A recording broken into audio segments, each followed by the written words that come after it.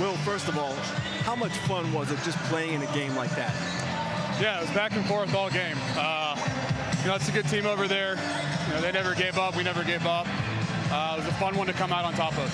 I imagine in the 11th, you could see the walk to Ohtani coming. You knew you'd be in there. Yeah. What was your approach against Weissert, bases loaded? Yeah, just trying to get a pitch to hit, get in the air. Uh, got a head 2-0, and then, you know, hit a sinker up the middle and base hit, walk them off. You guys have had so many injuries, so many things happen. You had two big wins to come out of the break with. How much can that sustain you going forward?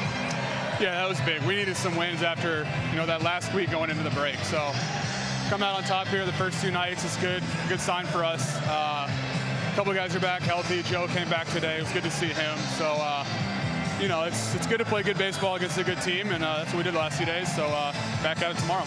Well, thanks. Congratulations. Joe, back to you. All right, Kenny, so the Dodgers with the Diamondbacks winning as well. Seven-game lead in the division still, and after scuffling to finish off the first half, they've taken the first two games coming out of the break. Red Sox, meanwhile, dropped to six and a half back as the Orioles start the second half 2-0. What a game, huh? Yeah, and it was, I mean, the, the Dodgers could have very easily lost both games to start this series, but the guys in the bottom of the order passed the baton, got the hits when they needed to, and got those big dogs back up to the plate, and they they made it happen. For Adam Wainwright, Ken Rosenthal, the birthday boy Matt Gangl, and everybody else on our Fox crew, Joe Davis saying so long from Los Angeles. Chris and the guys have it in studio after this break.